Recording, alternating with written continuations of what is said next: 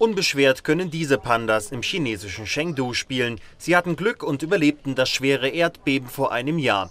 Andere Panda-Zentren wurden schwer beschädigt. Das in Chengdu kam mit geringen Schäden davon. Trotzdem gibt es Grund zur Sorge.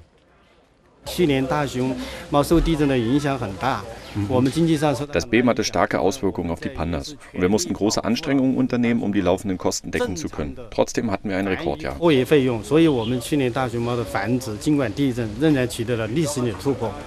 Der Rekord das sind 18 Neugeborene. Nie zuvor gab es hier so viel Nachwuchs und selbst im Weltmaßstab ist dies eine gute Nachricht. Laut Schätzungen leben nur noch 1200 Pandas in freier Wildbahn und weniger als 300 in Gefangenschaft. Der Babyboom freut die Menschen gerade in China.